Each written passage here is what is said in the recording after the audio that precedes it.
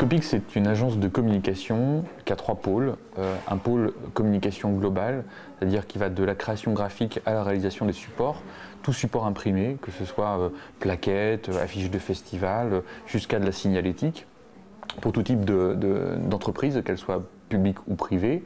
Un deuxième pôle euh, qui va plutôt être dans l'événementiel, c'est-à-dire euh, sur la création d'expositions, sur la création de stands, sur la création d'événements, assemblées générales, séminaires, congrès, anniversaires d'entreprise, sorties de produits et j'en passe.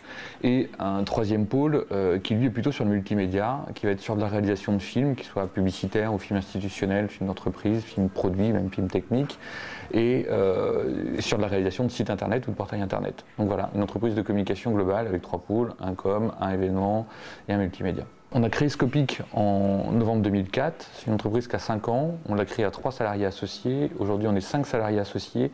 Il y a euh, un équivalent temps plein en fait, euh, de salariés chez Scopic qui est de 7 donc, à l'année.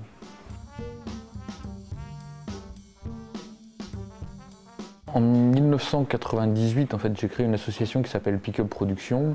Euh, c'est une structure qui a évolué, qui a salarié des, gens à partir d'un certain moment et qui a été positionné sur les marchés. C'est-à-dire que de son, de son objet associatif d'organisateur en fait, d'événements culturels, elle s'est fait reconnaître et à un moment donné a été consultée par des collectivités territoriales ou des entreprises privées pour la réalisation de petits événements culturels, d'entreprises ou euh, même pour de la communication. À ce moment-là, on s'est posé la question en fait de se dire mais est-ce que ça correspond bien à l'objet de l'association? Est-ce que l'association, dans son objet, elle est faite pour ça? Ou euh, est-ce qu'il ne faudrait pas qu'on fiscalise la structure pour lui permettre de répondre à ces marchés, ou qu'on crée une autre structure euh, pour du coup en fait répondre en fait à, ces marchés, qu'ils soient publics ou privés? Et à ce moment-là, euh, on a recruté une personne en fait pour diriger l'association et on est parti à trois salariés en fait, de l'association pour développer en fait, cette nouvelle euh, forme euh, en fait, qui est donc une SARL Scope. En se disant, OK, on part avec cet acquis de nouveaux marchés euh, émergents sur l'association et on dit, on les prend, on les emmène avec nous et on va créer en fait, cette entreprise. Ça va être un début d'une nouvelle activité.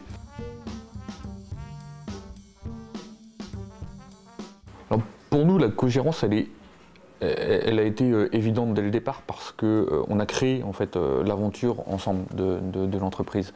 Donc en créant en fait cette entreprise, on s'est posé la question en fait de quels étaient les savoir-faire en fait de chacun, quelles étaient les compétences de chacun. Et dans ces compétences, il y a eu des compétences qui étaient plus des compétences de gestionnaire, plus des compétences de développement commercial, aux relations publiques, plus des, etc. Et Ensemble, on a partagé en fait un projet de création de cette entreprise. On s'est dit pourquoi on l'a créée, qu'est-ce qu'on a envie de faire, comment on va y arriver, comment on a envie de développer, qui va diriger, avec quel salaire, etc., etc. On a tout mis sur la table. On a toujours été en fait très transparent. Et je pense que c'est aussi un gage de grande stabilité, c'est-à-dire que il n'y a rien de caché, tout est, euh, tout est évident. Et y compris dans la gérance. C'est-à-dire que finalement, la gérance, elle est presque induite, elle est presque évidente. On est deux parce qu'il y a Adeline en fait qui s'occupe plutôt de l'aspect euh, gestion, relations financières, relations avec la comptabilité, vie coopérative.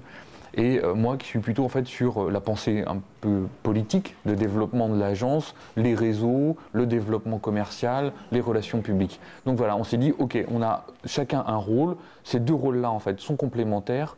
Ok, donc euh, si ça te branche, on essaye de construire ensemble un projet en fait de développement pour l'entreprise. Et finalement, c'est ce qu'on fait euh, euh, tous les ans. Et tous les ans, en fait, on propose ce projet-là à l'ensemble des salariés, qui est amendé, etc. Et ce projet est voté. Et ensuite, j'applique ce projet en tant que directeur général de cette boîte tout au long de l'année et je rencontre en fait en assemblée générale.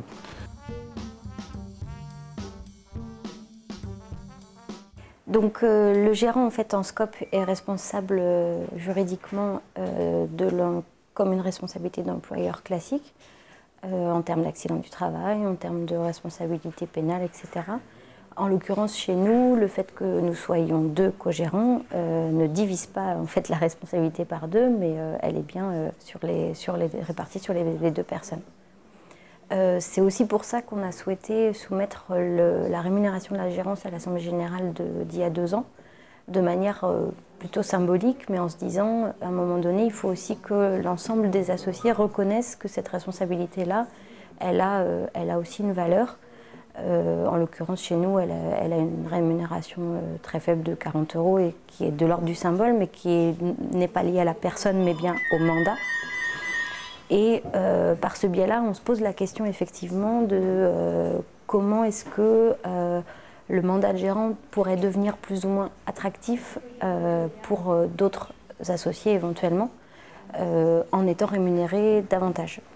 Néanmoins, se poserait la question de l'engagement sur un projet de développement, c'est-à-dire est-ce qu'à un moment donné, on ne serait pas amené davantage à avoir des gens qui se présentent par souci de gain plutôt que par engagement politique et de projet sur l'entreprise.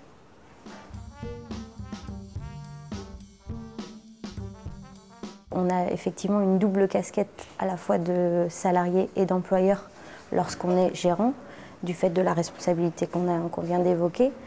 Euh, néanmoins, c'est aussi ce qui fait que c'est très intéressant dans la prise de décision, puisqu'on a un double regard qui est à la fois celui de salarié et d'employeur, avec une prise en compte euh, des contraintes et des avantages de chacun, euh, et du coup la recherche d'une solution la plus constructive qu'elle soit.